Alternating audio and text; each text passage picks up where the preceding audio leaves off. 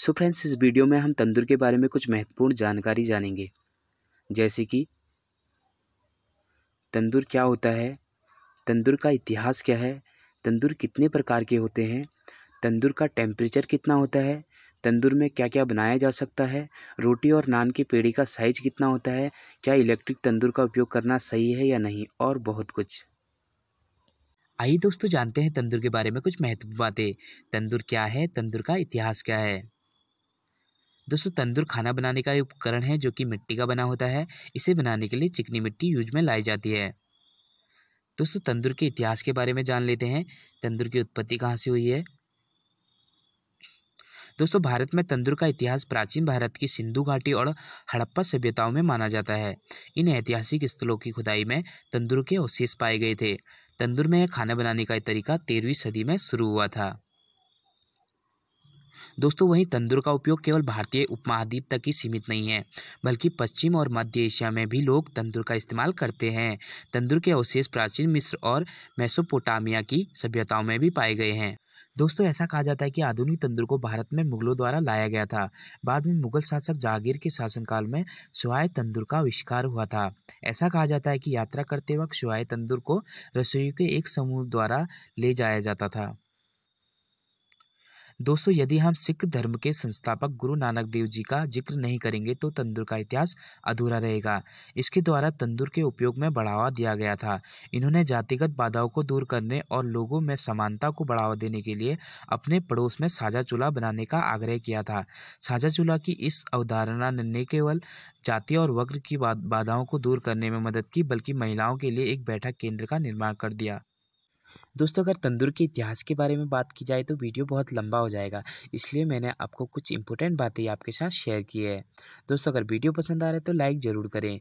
दोस्तों, आइए जानते हैं तंदूर कितने प्रकार के होते हैं। दोस्तों, अभी मार्केट में तीन प्रकार के तंदूर अवेलेबल है, चारकोल तंदूर, गैस तंदूर और इलेक्ट्रिक तंदूर। दोस्तों, अभी जानते हैं वो सवाल जो सबसे ज़्यादा पूछा गया है, तंदूर का टेम्परेचर कितना होता है? दोस्तों, सबसे ज़्यादा पूछा जाने वाला सवाल है दोस्तों दोस्तों, तंदूर का टेम्परेचर 480 डिग्री सेल्सियस होता है, अगर इसको फेरानाइट बोले तो 900 फेरानाइट रोटी और नान बनाने के लिए तंदूर का टेम्परेचर 300 से साढ़े डिग्री सेल्सियस होना चाहिए, और तंदूर में कबाब बनाने के लिए दो सौ से ढाई डिग्री सेल्सियस इसका टेम्परेचर होना ज़रूरी है दोस्तों। तो दोस्तों आइए जानते हैं तंदूर में क्या क्या बनाया जा सकता है। दोस्तों यह सवाल भी हर किसी के मन में होता है। दोस्तों तंदूर में रोटी, नान, कुलछा, लच्छा पराठा, गार्लिक नान, मिस्सी रोटी और बहुत सारे इंडियन ब्रेड बनाए जाते हैं दोस्तों।